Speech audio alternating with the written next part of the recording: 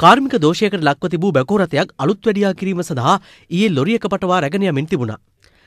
Lorry රථය ලුණු ඔය පාලම පසු කර අතුරු මාර්ගයකට හැරවීමට ගිය අවස්ථාවේදී බැකෝ මත සිටි තරුණයා බිමට වැටි ඇති අතර පසුව බැකෝ යන්ත්‍රය ඔහුගේ සිරුර මතට වැටී තිබුණා. සිද්ධියෙන් තුවාල ලැබූ තරුණයා මාරවිල රෝහලට රැගෙන යන අතරතුරයි මරණයට පත් වුණේ.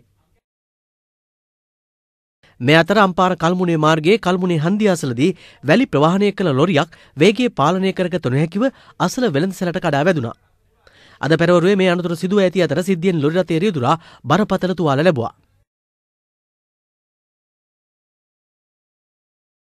මේ අතර වනාලියකු දැක රියදුරකු බියට පත්වීම නිසා කැබ් රථයක් පෙරලී ගියා. එ මහනුවර මහියංගනේ මාර්ගයේ මල ඔය තේක්ක කැලේ ආසන්න ප්‍රදේශයේදී සිද්ධියෙන් තුවාල ලැබූ කැබ් රියදුරා සහ තවත් පුද්ගලයෙකු රෝහල්ගත කෙරුණා.